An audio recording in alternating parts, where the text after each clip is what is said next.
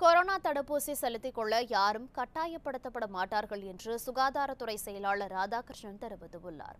Chennai TMS வளாகத்தில் செய்தியாளர்களை சந்தித்த அவர் முதற்கட்டமாக சுகாதார பணியாளர்களுக்கும் அதனைத் தொடர்ந்து முன்கள பணியாளர்களுக்கும் தடுப்பூசி செலுத்தப்படும் என்று கூறினார்.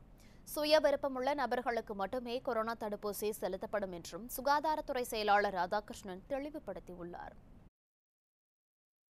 முதல்ல சுகாதார பணியாளர்கள் மருத்துவர் மட்டுமல்லங்க மருத்துவர் செவிலியர் மருத்துவ சாரா பணியாளர்கள் இன்க்ளூடிங் மருத்துவத்தில் பணியாற்றக்கூடிய துப்புரவு பணியாளர்கள் உட்பட அனைவரும் இந்த முதல் கட்ட இது பண்ணுவாங்க. இது என்டையர்லி வாலண்ட்ரி அந்த தகவல்களையும் நாங்கள் வந்து சொல்ல கடமைப்பட்டாலும் இது வாலண்ட்ரினா நம்ம வந்து நீங்கள் கம்புட்டாயம் போட்டுக்கணுங்கிற கண்டிஷன் எல்லாம் கிடையாது.